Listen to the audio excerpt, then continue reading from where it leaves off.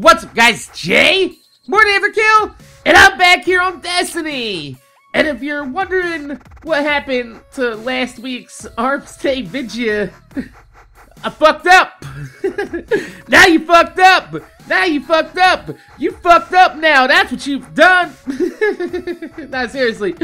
I was so enamored with the blizzard that uh, we were having that Saturday that I completely forgot to buy any packages before Jer left.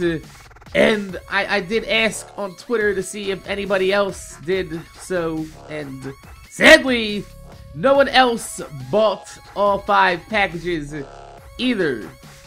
And I, I, I can't blame you guys. I'm, I, I'm not even gonna blame myself, honestly, because I'm, I'm pretty sure the majority of us haven't played as much Destiny as we'd like recently. But uh, there is a new PvP event coming up for Valentine's Day called Crimson Days, featuring the all new game mode Crimson Doubles and True to Form.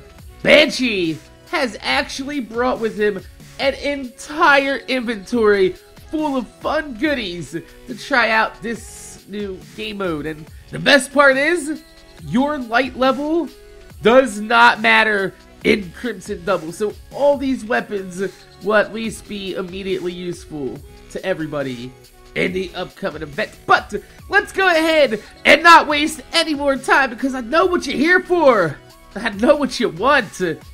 Because if you're just like me, you've been holding on to it for quite some time. And yes, oh yes, I'm gonna give it to you.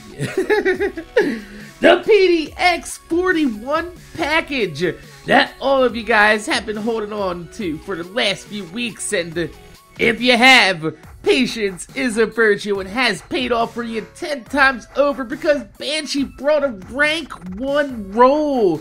That means it's available for everyone that owns this package.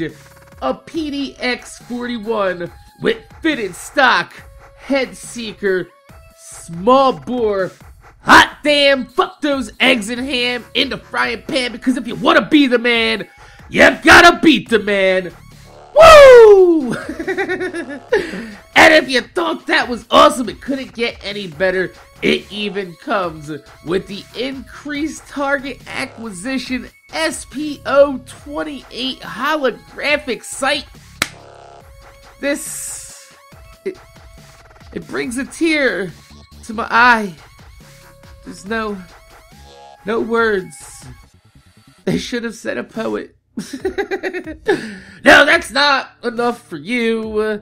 If you're not impressed, you know, color me Shania Twain. I'm not much of a pulse-rifle type of guy, Mac. That's fine. No big deal. Go ahead and uh, shake that off just a little bit because if you bought the Suros ARI 41 package, you gotta go ahead and turn your head to the Rank 2 package with fitted stock, lightweight, and counterbalance stability monster, but that's not enough stable for you. If you want to take it to the extreme, go ahead and swap out that lightweight perk for that extra hand-laid stock and enjoy that stability bonus overkill. You're still not really feeling the auto rifles. It's not your cup of tea. Maybe maybe you like a little bit more damage, a bit more precision. Maybe you're more comfortable with a hand cannon. Well, the rank 1 Gaheris D has triple tap, Zen moment, and explosive rounds. But maybe you bought the Omolon Uffern HC4 instead. But don't worry! Banshee's got you too this week with a Zen moment triple tap and brace frame joint. What? So, no matter which hand cannon package you bought last week, that blue bastard's got your back.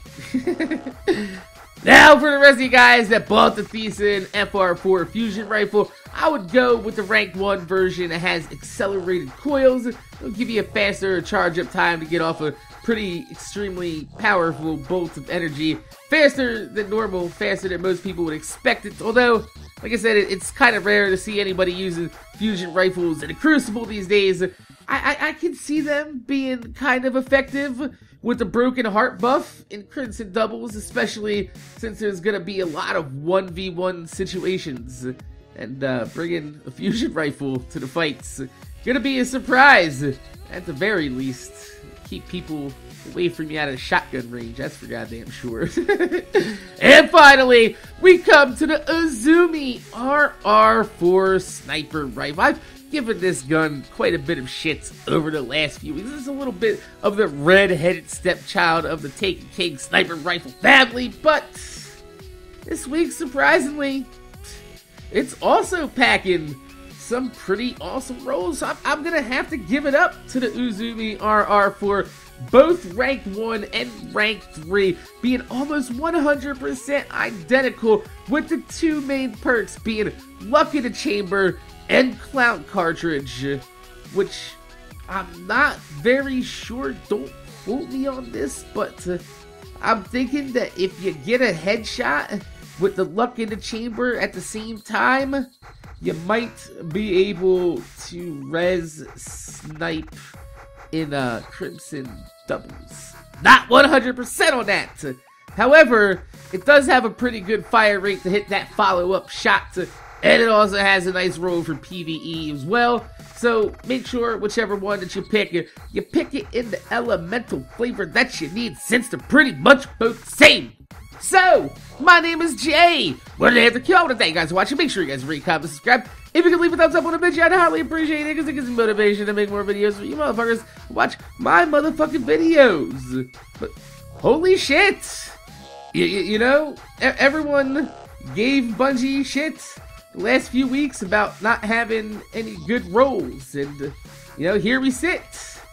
Two weeks later with an entire inventory of perfect rolls. So, GG, Bungie. That's that's no passive aggressive sarcasm intended. I'm 100% impressed with this week's offer, and I'll have a few shiny new toys to get playing with the next few days. So, thank you, Bungie. Thank you, Banji. Both of you, you robotic bastards. so, my name's Jay. What after kill. Thanks for watching, and I'm gonna see you guys later.